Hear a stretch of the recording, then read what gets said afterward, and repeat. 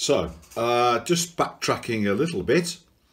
Once you have your wings constructed, now this is where the pieces of cardboard come into play because if you need to, you can use these as a tool. I'll just bring the camera around and you can see now that we can get the correct distance between the upper and the lower wing just by using those two bits of scrap cardboard.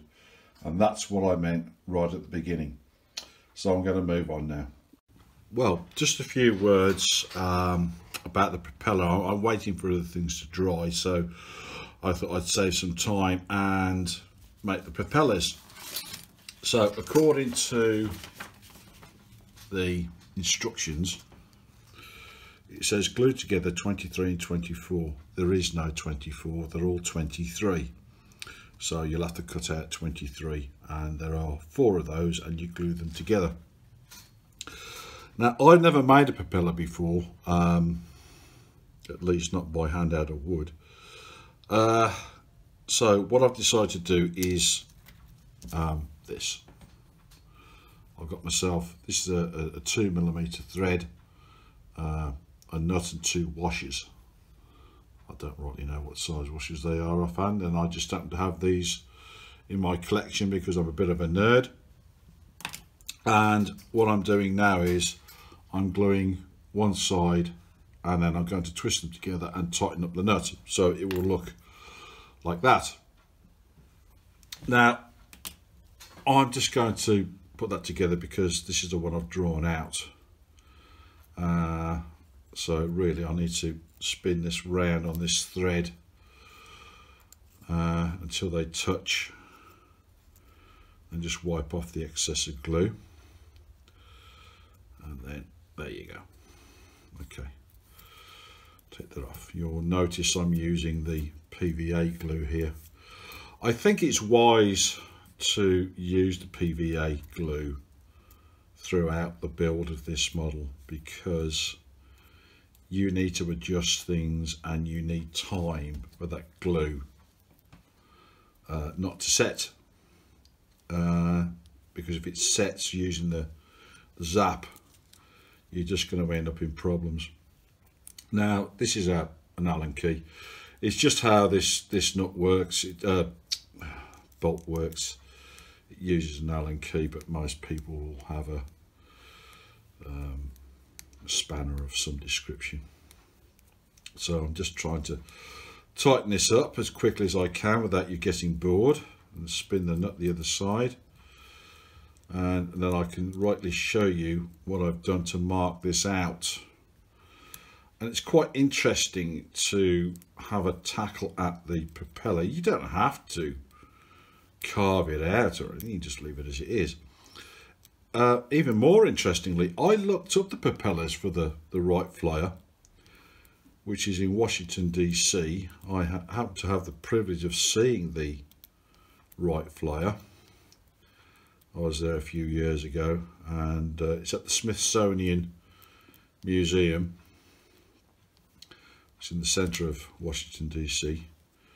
I'm just going to pinch up that, if I can find some pliers, pinch up that nut go. I'll probably have the right spanner for this, but maybe call it a wrench for some reason. I have no idea why. Anyway, so we do that up. Then hopefully the, the glue will be setting. Okay, so I have, let's just get my pencil. If you want to make this look as realistic as you can. Make this the, tri the uh, trailing edge and this the trailing edge and then opposite the leading edge and then opposite there the leading edge. Make sure you put a center line down it and then do the same the other side. So obviously that's leading edge there, leading edge there, leading edge there, leading edge there. So the leading edges are opposite ends. Yeah? Can you see that? Focus.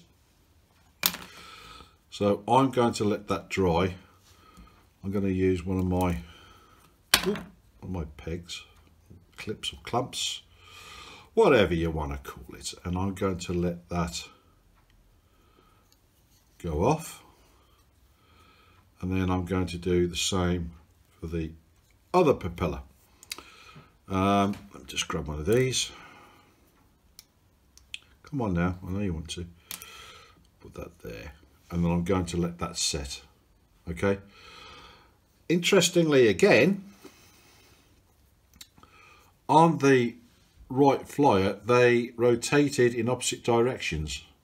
This to was to uh, counter torque. So you wouldn't the torque wouldn't throw the aircraft this way or that way. So balance out the aircraft. So you need to remember that when you're marking out. So you'll see on this one, trailing edge is this side, and on that one, trailing edge, oh, it's the same, isn't it? what an absolute idiot. Yeah, so the trailing edge, turn it around the other way. Well, anyway, it should be the opposite way around. That's what you got to remember.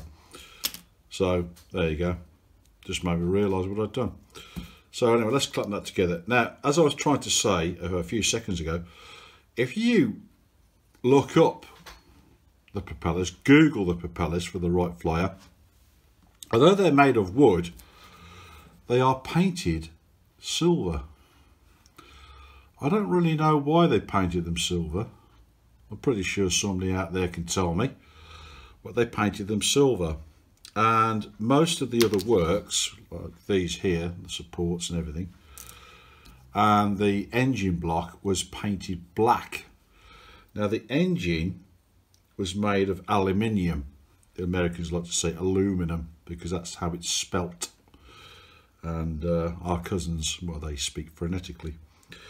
So the the engine was made of aluminium, and they made the engine themselves, and that was they painted it black so that the competition, when they got to see this thing, would not realise it was made of aluminium to make it lighter, because obviously aluminium is a lot lighter than cast metal. So I just thought I'd tell you that because if you come to paint, put any paint on this model, you can correctly paint the engine black and the propellers silver. You don't have to paint anything at all, but if you fancy it, that's what you got to do. So I will come back to this once these have set and in the meantime I will carry on with other things. Hi, I thought I'd give you a, a different angle this time just to make it less boring. So I'm going to give you the good news and show you what to avoid. Now when you come to do the chain drive um, what I did, I put a two millimeter drill bit through this hole here, so everything lines up, put the white glue on, clamped it, and putting that drill bit through there, make sure you can't get it wrong. That's got to line up, okay? I've used the white paper by the way just to uh, for my benefit not for yours because I can't see the video. So I know that this is in shot. Okay. Um, the next thing is the engine. Now uh, you may notice there's one piece of wood there that's not supposed to be where it is. That's because when I trial fitted it putting the round bit in it wasn't wide enough. So I put a little piece in but I haven't got each one of these are 19 millimeters and so I use a 20 millimeter cutter and it still came out a little bit shorter so I thought well what the hell anyway because I'm going to paint that black. So just be aware that there may not be enough discs to fit in there. This was very fiddly to put this together. It really really was and I was so pleased. I, I, I, I used the white glue because if I used the zap it would just gone wrong terribly terribly wrong uh, and of course you've got to put the chain drive on one side um, it's not too clear about this engine so you have to figure it out there's a little lip here that goes on the top so it goes that way up yeah so the chain drive will go on the right hand side Now there's a part numbered 22. This is 22. It does not, the instructions do not show you where to put that. I figured it out. It goes on the opposite side about there. But I'm not going to glue it straight away because this has to be put into position and I don't know what that position is just yet. So I'm going to leave that off and put it in the box safely away. So I know where it is. Now on the back I've written in pencil 22. So again, just reiterate, it doesn't show on the instructions where that goes. Now, um, I've done the propellers. Here's one I prepared earlier. It's not turned out too badly. And as I showed you earlier, you draw a centre line, trailing edge, this is the trailing edge and the leading edge, but L for leading edge and T for trailing edge. Then all you do, you get your knife, stand it up like this and carve that out up to the middle line. So you, you basically go like that, okay? Then you flip it over on the trailing edge like that. And then you do the same to the other side. And then I have to admit that was quite good. I sanded it down and it's come out quite well. Um, I've resisted the challenge of putting it in the drill to see if I can get an airflow out of it but I'm well I'm, I'm pretty sure it probably does so yeah so I've done both of them. So there you go. Now I've also skipped ahead slightly and come to these parts. Now these part numbers are I think on the plan it says 9 then you have to put the number 8s and the number 9s on which are two different sizes and they go either side. Now these there's a, a, a right way up and a wrong way up.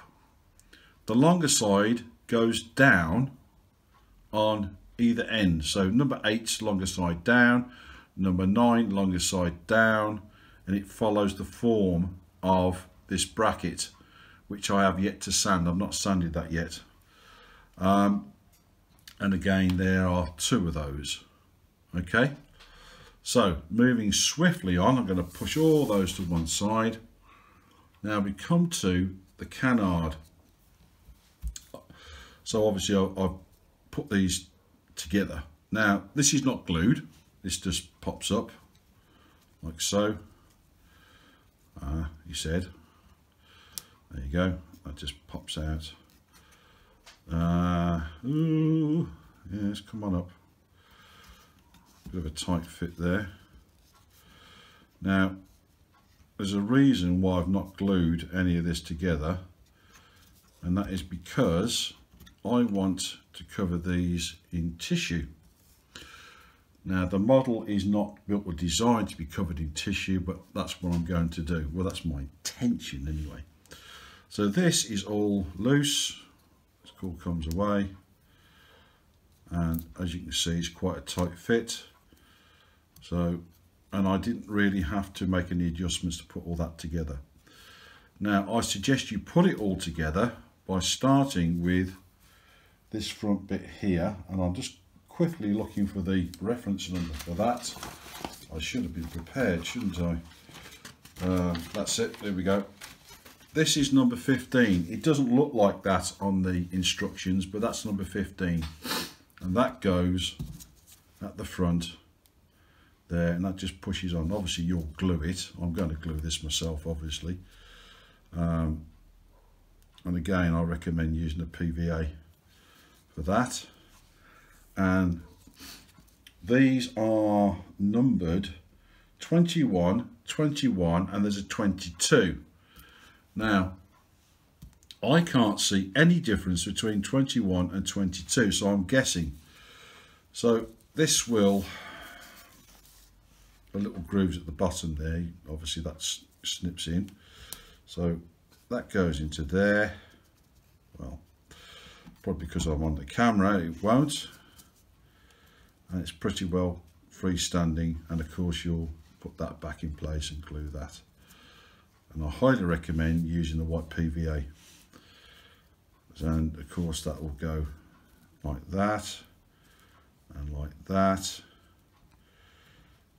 Okay that's where all the fun starts. And of course that one goes at the back. I'll let you figure it out. And of course these go on top. Now these are not in the center so they're in the you want them in the forward position this position and then it goes on. Okay? The only adjustments I had to make was I need to put my knife in here just made that slightly bigger to make it fit because it's quite tight fit as it is and as I said I want don't want to glue these on right now because I want to cover them.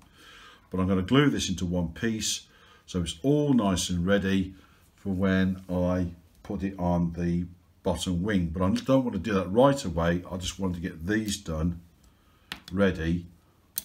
Yeah I've got to sand these. Um, so when it all goes together it's all in one lump basically. So this is way you turn the page. And it's showing you to put this together and put these together.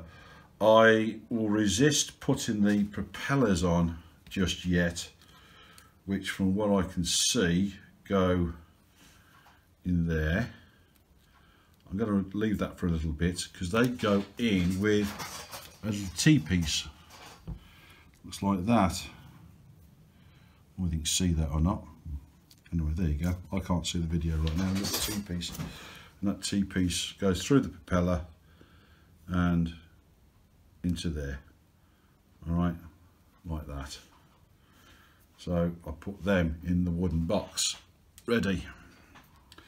Obviously I don't want to lose them. Um, and then you have now this one should be ready now. What do they call this? They call this uh, assemble the steering wheel. They they think this is a steering wheel I can't think of anything that looks less like a steering wheel. I have not sanded this yet but I just took it out the clamps with the glue's drying this is not a steering wheel. This is for the wing bending if you like the ailerons. So the chap lies in here and he does this with his waist. So it's not a steering wheel. It's for the ailerons. Uh, saying that I did make the little man. I put him together and now I put him down and I don't know where I put him I don't know whether you're interested in seeing him just yet where has he gone where has he gone I don't know a bit earlier still there you are. Uh, yeah, I got some crayons out and I, uh, I coloured in it, coloured him in, and uh, put him all together, and the glue is dried. So as soon as I find him, you got too far away. Got a quick look, quick look. No. But anyway, that's watercolour crayons. That's what I used. And I don't know what I've done with it. No idea. I've lost Orville Wright. Okay, not the end of the world. So that's where we are. So um, while you're waiting for the next part, um, I'm going to glue that together, ready for the wing. And then what I will do is I'll cut out the tail end ready and then what I will do at some point, I'm not quite decided yet, I will cover the wings and the canard uh, elevators. These are the elevators at the front. That's why it's called a canard. Okay, and there you go. It's uh, probably not the most exciting thing, but at least you know what things look like. Yeah, and that's where I am for now. Okay, thank you.